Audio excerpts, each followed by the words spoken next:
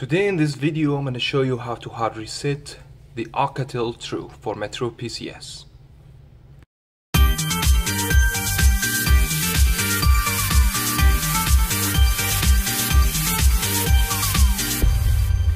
Before we start guys, I want to just explain to you hard reset means you're gonna erase everything on your phone so make sure if you want to do this to have your stuff be backed up.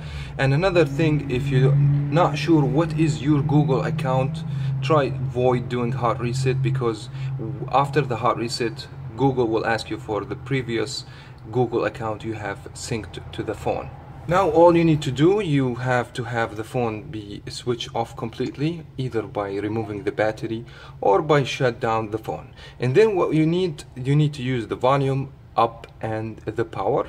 So technically what we need to do is first power and volume up at the same time. Once you see the logo comes up over here, you have to release your finger from the power and keep hold on the volume up.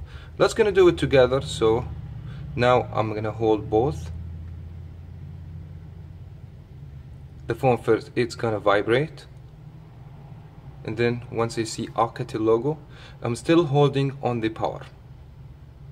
That way the phone will take you to this screen which is you have to go down by the volume down and then confirm by hit the power.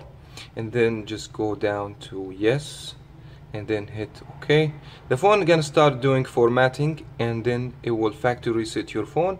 And after that you guys need to wait 20 minutes after that phone done hard reset which is it takes a while.